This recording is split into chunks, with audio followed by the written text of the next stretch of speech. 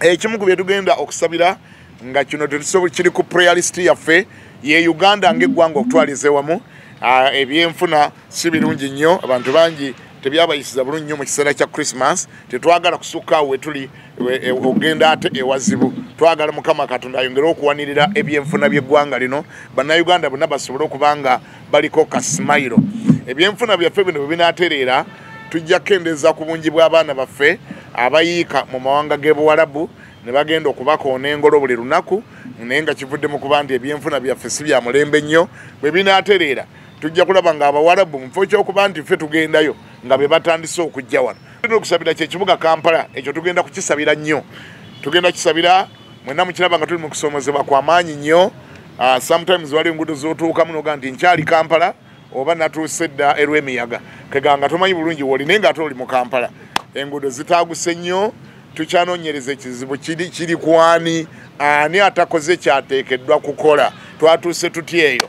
Ekirala bye bisaaniiko mwenna bye mwalabye byatuswazizza nnyo okubuna enguudo z'ekibuga kampala ate ku lunaku lwa krisimansi tetumanyi oba n'ababiyoola nabo beediimye oba bayagadde kutulabisa bulabisa kubanga ate ne babijja ne gyebibeera eri emmanju mu nsokolo ne babiyira ddala ku luguudo ne bikola nga christmas decoration mu kibuga kyaffe kampala.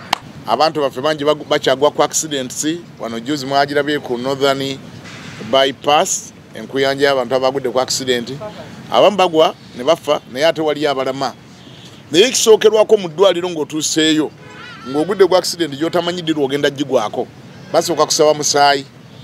Leeta omusaayi raba gutabaawo ofa kakati kiba kya busiru nnyo okuŋŋaanya abantu emitwalo kumi mu kifo kimu.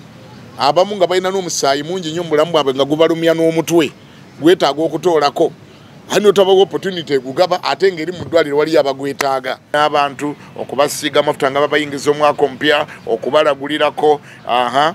Naye ate n'ekirala ekigenda okubaawo nti tugenda kuba n'abayimbi bonna abanene bemumanyi mu ggwanga bagenda kubaano nga baweereza okumazisako abantu omwaka n'obayingiza omwaka ate omupya. Ebyokwerinda nga bwemulaba uganda police ekiikiriddwa bigenda kubeera gguluggulu nnyo